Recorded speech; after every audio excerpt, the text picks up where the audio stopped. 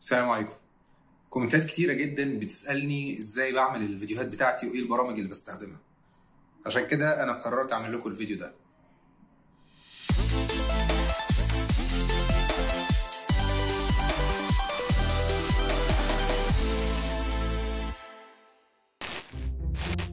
الموضوع بيبدأ بفكرة أو مجموعة أفكار مترابطة.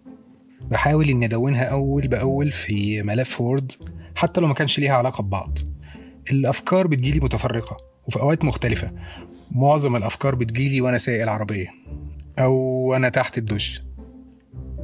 بعد كده بقعد أرتب الأفكار وأكون باقي النص وأقعد أعدل الصياغة وأختصر حاجات وأضيف حاجات لحد ما أحس إن الموضوع بقى كامل كده وجاهز للتنفيذ. بعد كده مرحلة تسجيل الصوت. كل إنسان فينا فيه نواقص وعيوب معينة.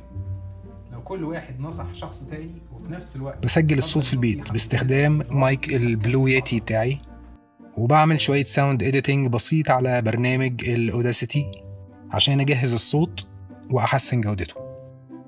بعد كده مرحلة ال storyboard ودي المرحلة اللي بحول فيها السكريبت اللي أنا كتبته لرسومات كروكية للمشاهد. بحاول أتخيل وأشخبط وأفكر إيه أفضل طريقة أعبر بيها عن الجمل المكتوبة بصريا بعد كده مرحلة الرسم. هنا بحول الرسومات الكروكية لرسومات نهائية متحبرة ومتلونة وبستخدم في المرحلة دي برنامج Adobe Fresco على ال iPad وأحيانا برنامج Adobe Animate للرسم.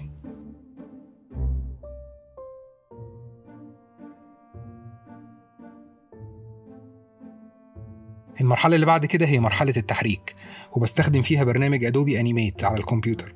عشان أحرك الرسومات والمشاهد اللي أنا رسمتها.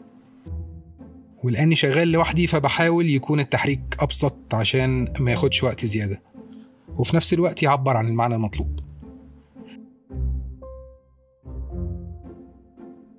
أما في فيديوهات ال whiteboard animation اللي بيظهر فيها إيد بترسم كده دي بستخدم فيها برنامج VideoScribe. ودي بتكون أبسط شوية من الفيديوهات التانية في التنفيذ.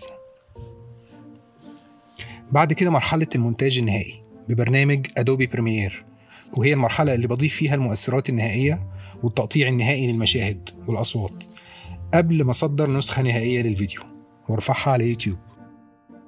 أحلى مرحلة بقى في كل دول هي مرحلة اللي بقرأ فيها تعليقاتكم الجميلة وتفاعلكم مع الفيديو. ودي باختصار هي مراحل إنتاج أي فيديو من الفيديوهات اللي أنتوا بتشوفوها على قناتي. أتمنى يكون الفيديو ده عجبكم.